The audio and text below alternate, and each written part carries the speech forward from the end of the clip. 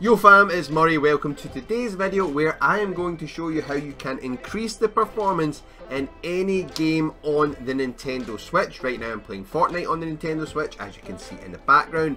But this will work for any other game also if you want to increase the frames per second, get a bit better performance when you're playing with the console in docked mode. So this is when you have it in the dock and you're playing on big screen. This will work and this will allow you to crack a few extra frames per second out of your game and get a much smoother experience. So enough chit chat, smash that thumbs up button if you're hyped for this and if you find this video helpful. Remember to subscribe for plenty more gaming videos coming your way here on the channel and let's show you the secret of how to get a bit better performance on your Nintendo Switch. So fire up your Nintendo Switch and head on down to system settings. Once you're in system settings you need to scroll all the way down this left hand menu until you get to the TV output section. Head on over to TV resolution and you can see it's that automatic. I think that is the default that all switches are set to. That is the menu you're after and that is where you want to go to make the changes. Don't worry just now about any of the other ones head on into TV resolution.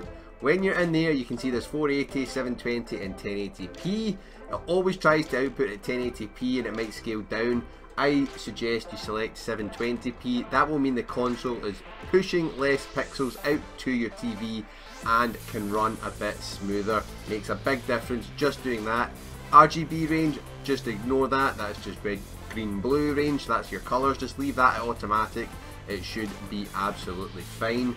Once you've done that, you're now ready to rock. Jump back into your game. And there you have it, 720p.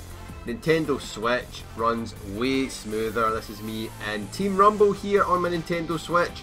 Absolutely loving it. I always play on 720p on my Nintendo Switch, whether I'm playing Fortnite or Fast RMX, Super Mario, Mario Kart, you name it, it runs so much smoother. Trust me guys, give it a try, you'll notice the difference right away. Unfortunately this does not help you when you undock it and you're using it in portable mode or handheld mode.